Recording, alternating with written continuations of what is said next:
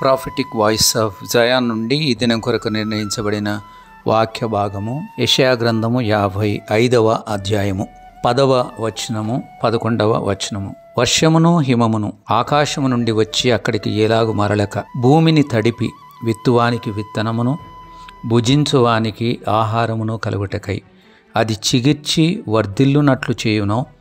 అలాగే నా నోట నుండి వచ్చు వచనమును ఉండును.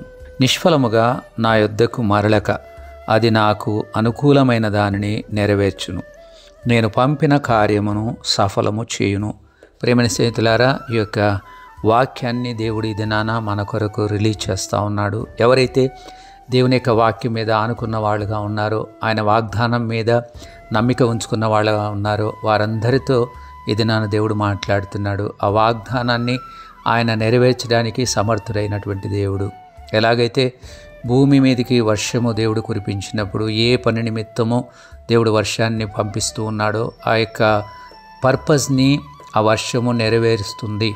అది నెరవేర్చకుండా మరలా తన యుద్ధకు అది నిష్ఫలముగా తిరిగి రాదు.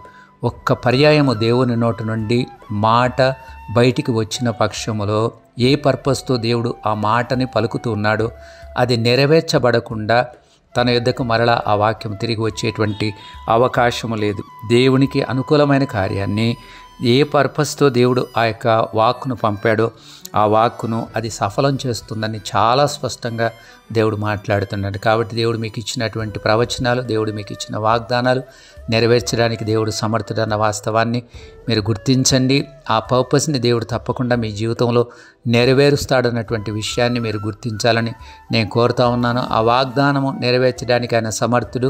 దేవుని వాక్యం అంటుంది వాగ్దానము నెరవేర్చడానికి ఆయన నమ్మతగినటువంటి వాడు అని హిబ్రిలకు పదో అధ్యాయం ఇరవై మూడో వచనంలో చాలా స్పష్టంగా దేవుని యొక్క వాక్యం మాట్లాడుతుంది. వాగ్దానం చేసినటువంటి దేవుణ్ణి మనము ఇంకా విశ్వసిద్దాము నిరీక్షణ కలిగి ఉందాం. ఆ యొక్క వాగ్దానముల యొక్క నెరవేర్పు కొరకు ఎడతెక్క ప్రార్థన చేయడం ద్వారా వాటి యొక్క ఫలాన్ని మనం అనుభవించడానికి మనల్ని మనం సిద్ధం చేసుకుందాం. అలాగే చేయడానికి దేవుడు మనకు కృపానుగ్రహించిన కాక మీ సహోదరుడు రెవరెండ్ డాక్టర్ ఎంఐసెట్